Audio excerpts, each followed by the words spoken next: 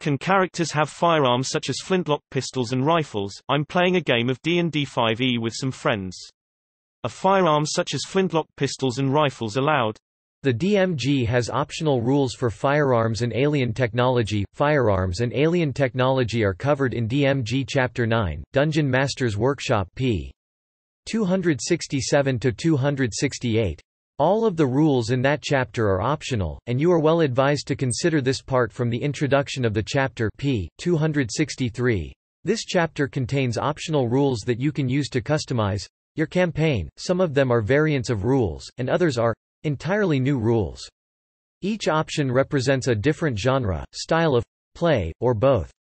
Before you add a new rule to your campaign, ask yourself two questions. Will the rule improve the game? Will my players like it? If you're confident that the answer to both questions is yes, then you have nothing to lose by giving it a try. The firearms table p. 268 describes cost, damage, weight and properties of pistols, rifles and other firearms.